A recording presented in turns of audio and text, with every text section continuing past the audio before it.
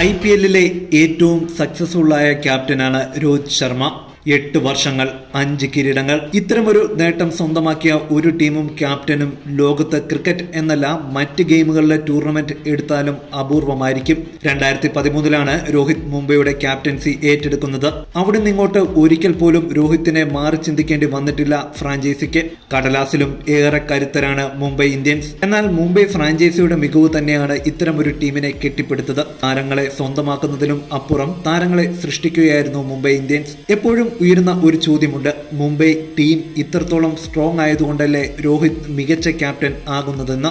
മറ്റൊരു ടീമിലായിരുന്നെങ്കിൽ രോഹിത് കിരീടങ്ങൾ വാരി കൂട്ടുമായിരുന്നോ എന്ന് ഈ ഐ പി എല്ലിന് ശേഷവും ഈ ചോദ്യം ഉയർന്നു. പ്രത്യേകിച്ച് കമന്റേറ്ററും ക്രിക്കറ്റ് നിരീക്ഷകനും മുൻ താരവുമായ ആകാശ് ചോപ്രയിൽ നിന്നും ആകാശ് ചോപ്രയുടെ ചോദ്യം ഇങ്ങനെയായിരുന്നു.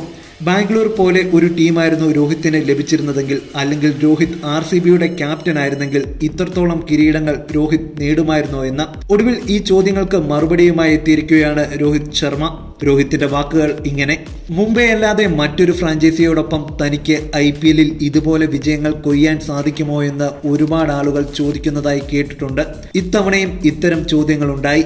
മറ്റ് ടീമുകൾക്കൊപ്പം എന്തിന് ഞാൻ ഇത് ചെയ്യണം? മുംബൈ ഫ്രാഞ്ചൈസി ഒരു പ്രത്യേക വഴിയിലൂടെയാണ് മുന്നോട്ട് പോയിക്കൊണ്ടിരിക്കുന്നത്. അതേ ദിശയിൽ തന്നെയാണ് താരമെന്ന നിലയിലും ക്യാപ്റ്റൻ എന്ന നിലയിലും ഞാനും പോകുവാൻ ആഗ്രഹിക്കുന്നത്. അപ്പോൾ എന്തിന് ഞാൻ മറ്റേതെങ്കിലും ടീമിൽ ആണെങ്കിൽ ഞാൻ കിരീടം നേടുമോ എന്ന് ചിന്തിക്കണം. അതിന്റെ ആവശ്യമെന്ത് രോഹിത് പറഞ്ഞു. മുംബൈ ടീം കരുത്തരായതുകൊണ്ടാണ് കിരീടങ്ങൾ നേടുന്നത് എന്ന പരാമർശത്തിനും രോഹിത്തിന് മറുപടിയുണ്ട്. മുംബൈ ടീം പെട്ടെന്നൊരു ദിവസം ശക്തരായി മാറിയതല്ല. കുറെ കാലത്തെ ചിട്ടയായ പ്രവർത്തനങ്ങളാണ് ടീമിനെ ഇന്ന് കാണുന്ന സംഘമാക്കി മാറ്റിയത്.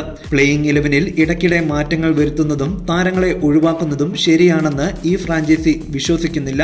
താൻ ഉൾപ്പെടെ ഈ ടീമിലെ എല്ലാവരും രണ്ടായിരത്തി പതിനൊന്നിലെ ലേലത്തിൽ വിൽപ്പനയ്ക്കുള്ളവരായിരുന്നു. അതെ ഞങ്ങൾക്ക് കിറോൺ പൊളാർഡ് ഹാർദിക് പാണ്ഡ്യ ജസ്പ്രീത് ബുംറ എന്നിവരെല്ലാമുണ്ട്.